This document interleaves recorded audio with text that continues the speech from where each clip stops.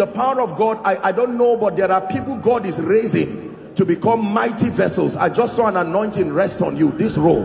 In the name of Jesus, I don't know where you are, but I pray may that grace now, let it rest upon you and shift you to a new dimension. In the name of Jesus Christ. Welcome to Christocentric Message.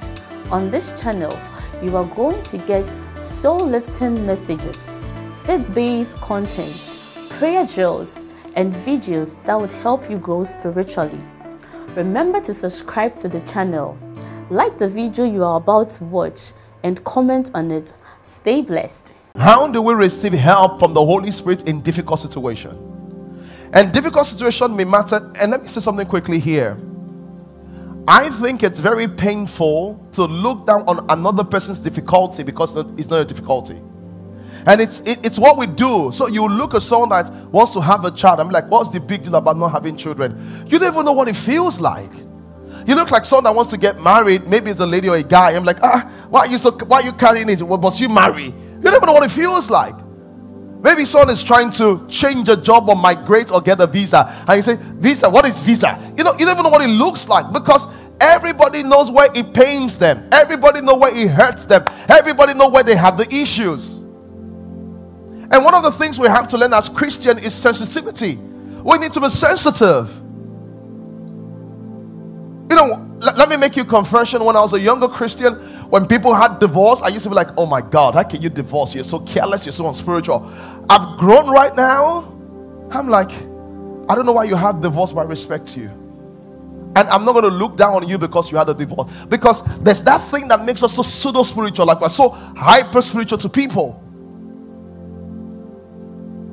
So when we talk about tough season, seasons that tough, it may not be tough to you, but it's tough to me. Some people have COVID and don't show symptoms. Some people have COVID and almost die, and some literally die from COVID because the impact is just different on different persons. So the question today is that no matter what the challenge is, how does the Spirit bring about help when I have challenges? It may be as big as I need $3 million to scale a business. I was talking to one of the people in NLP, and he was telling me about this current need. This current need is the fact that they need $2 billion. I'm like, wow, not 2 billion naira, $2 billion. And the reason I was telling me was because right now they've gotten $1 billion. So it was a testimony. He said, I went to talk to someone, and the guy said, I can partner with you. He said, How much do you want? He took a paper he said, Write how much you want me to give you. Because the guy was so shy, he couldn't believe he could ask someone for that.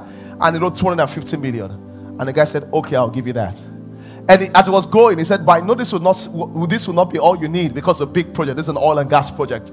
He said, Yes, actually, I need some more. He said, Let me call a friend of mine. How much do you want to give you? I called the friend. The guy said, I'll give another 500 million dollars.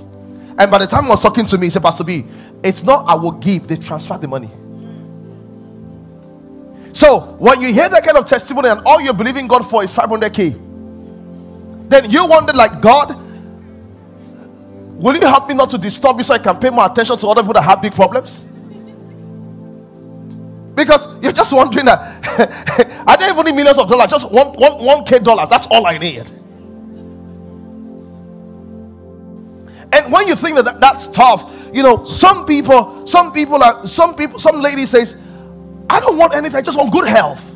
Some guy says, I just want good health for myself, for my parents, for my children, and for my spouse. That's all I need. I like, what is good health? And some of the people say, it's more than good health I want. I, just want someone to spend my life with. Everybody wakes up and have this little cuddle all over and would. He said, when I wake up, all I get to cuddle is a pillow. I want a human being that has blood in his veins to be able to cuddle me and say, How are you this morning? And someone says, What is that? Because for somebody else, I want a job that pays me more. Someone says, When I have a job that pays me more, I'll feel cuddled. I'm only saying that the problems will always be different, but it doesn't reduce the intensity of the problem.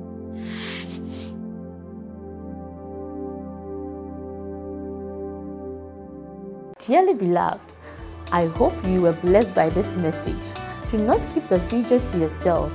Share to as many as you can to help them bless. Check our homepage for more of our messages.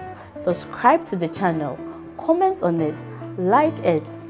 See you on our next video. Bye. Pray, pray, pray for your destiny.